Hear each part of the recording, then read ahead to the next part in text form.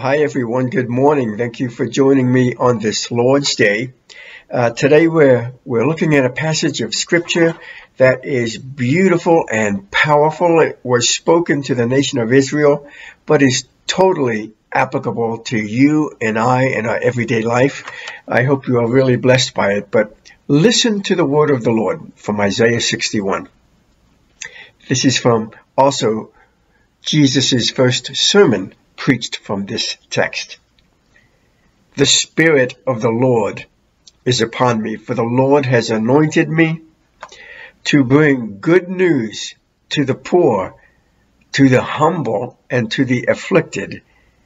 He has sent me to comfort and heal the brokenhearted, to proclaim that captives will be released and prisoners will be freed he has sent me to tell those who mourn that the time of the Lord's favor has come. To all who mourn, he will give a crown of beauty, a joyous blessing instead of mourning, a garment of praise instead of a disheartened spirit. This is the word of the Lord for the people of God.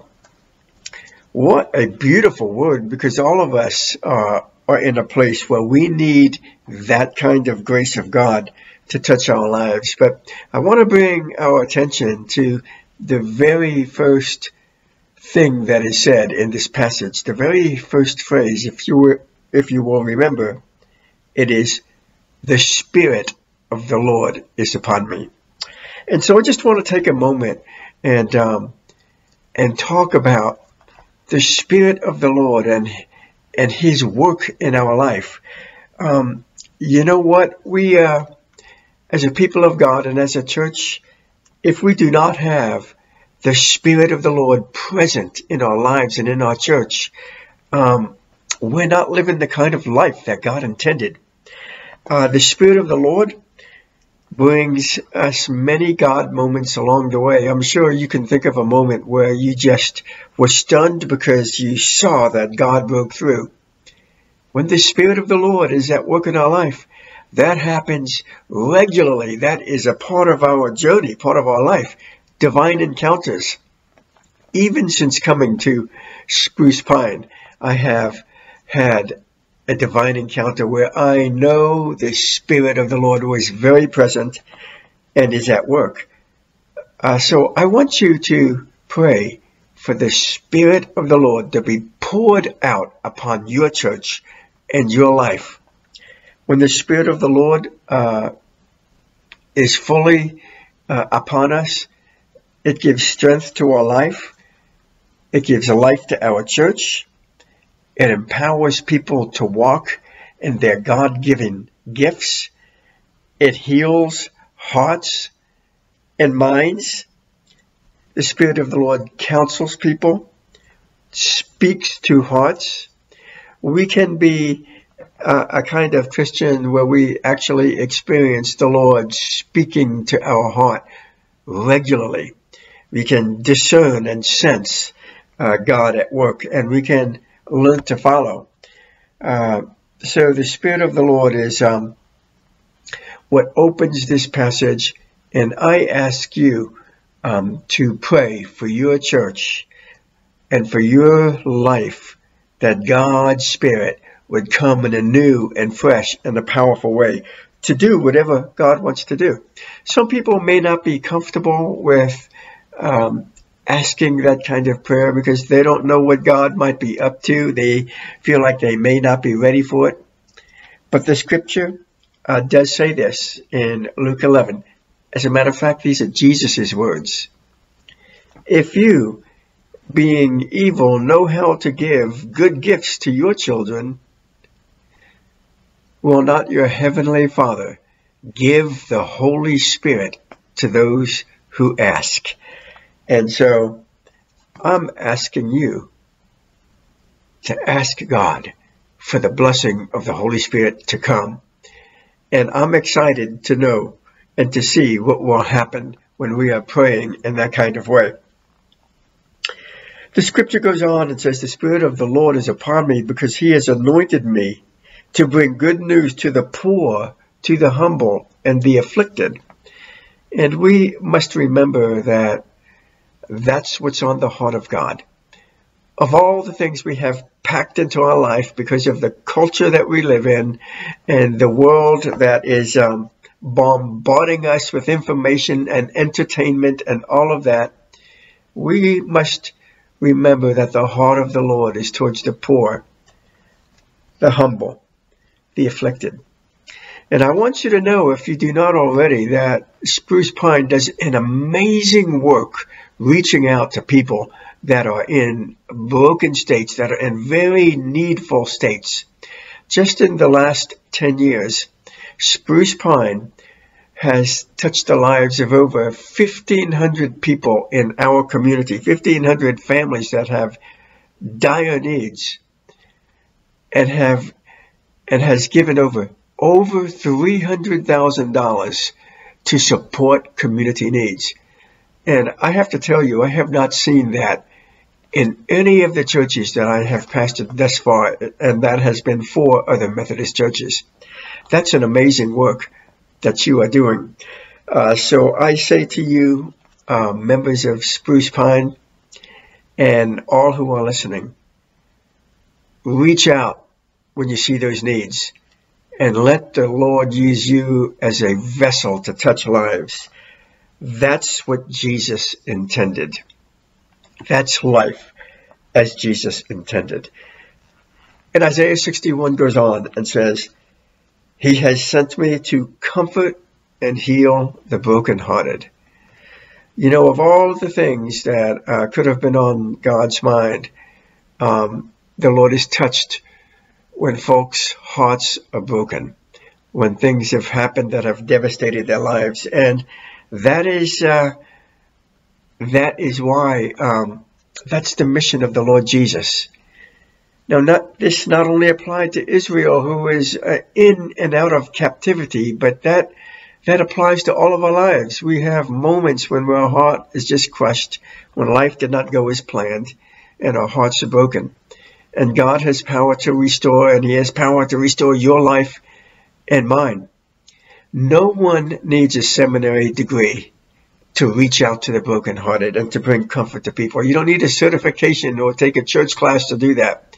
A child can do that. And we as adults need to be uh, reaching out to folks that have broken hearts. I, I can remember many years ago uh, when my family was experiencing a very broken-hearted moment.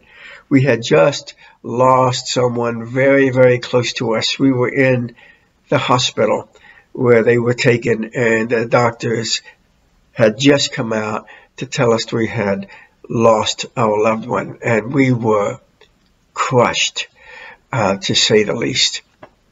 And on that evening, we watched the nurses come down from the third or fourth floor from the hospital, the nurses that had given care to our loved one for weeks trying to keep them alive.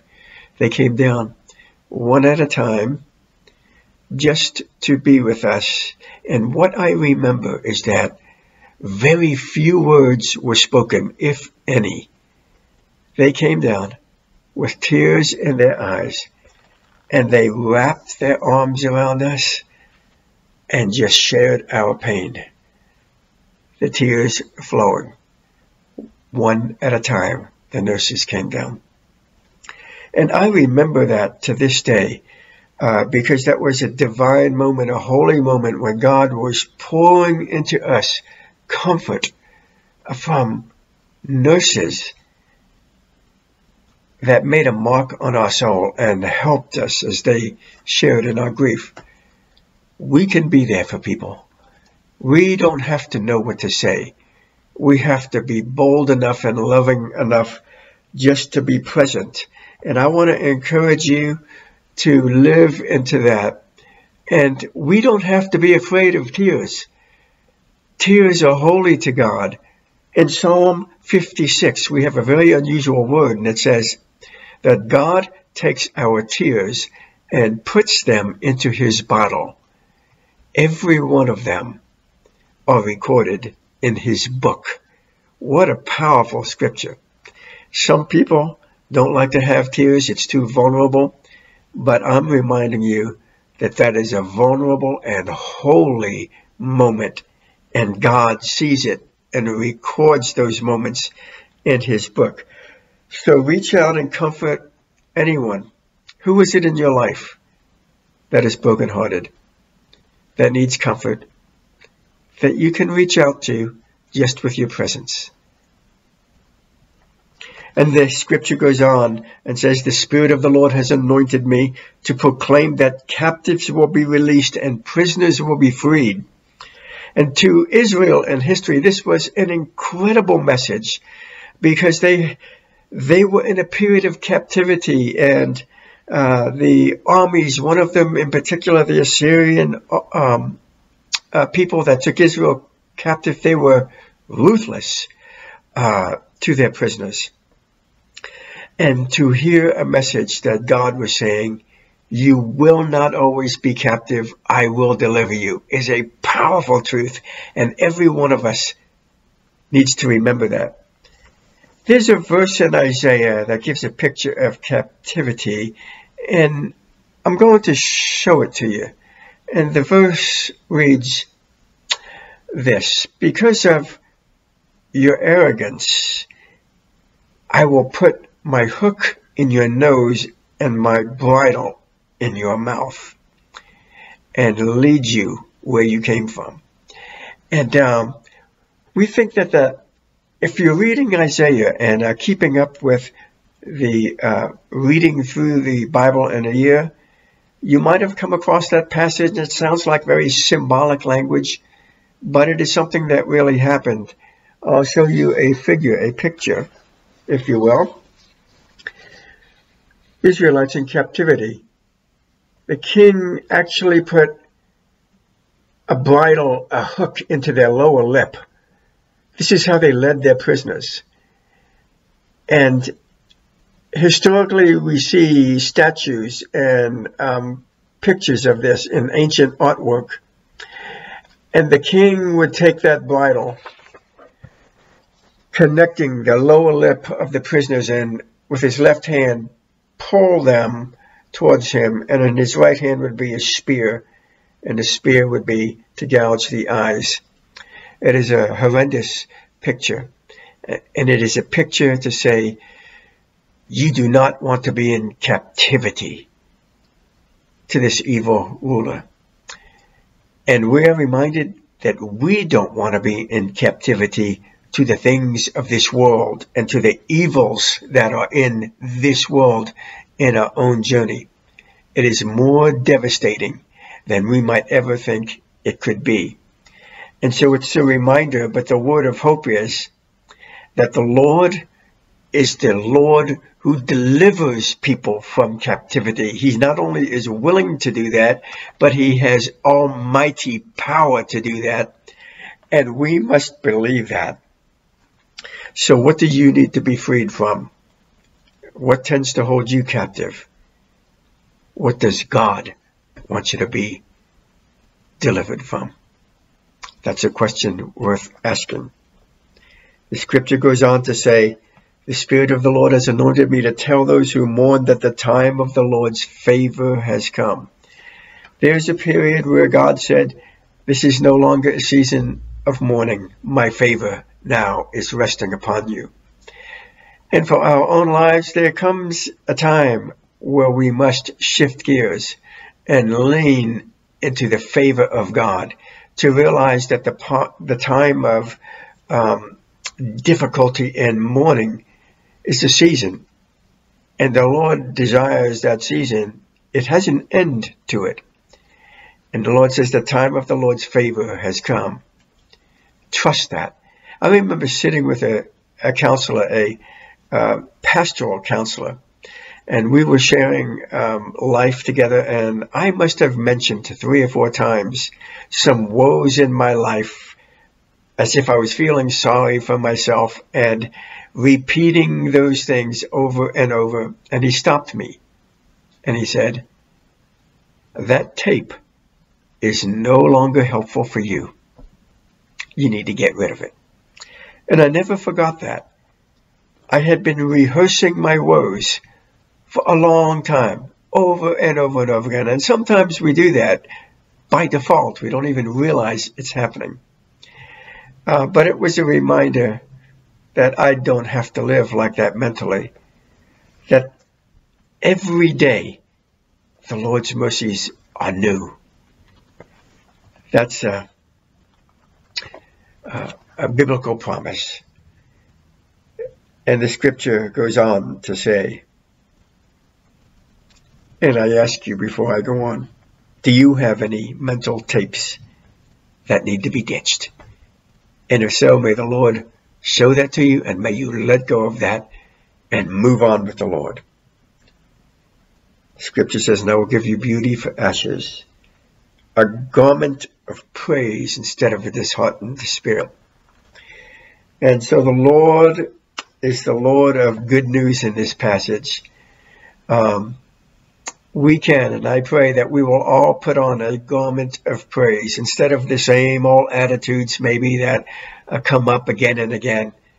We can choose to walk in the delight of the Lord and to remember the good things God is doing and put on a garment of praise and not be ashamed of that. So share the thanks to God and the praise to God as often as you can, it will change not only your spirit and your mind, but it'll bless other people.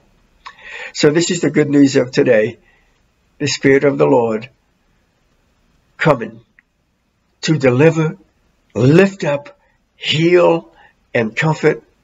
May that grace of God be in your life and in the life of Spruce Pine. In the name of Jesus Christ. Amen. Let's take a moment of prayer. Lord, I ask that the amazing divine promises in this word would enter into the lives of all who hear this morning. Lift up and heal and comfort and renew and deliver to the glory of your name. Amen. Thanks for tuning in. God bless you. Have a great week. Bye bye.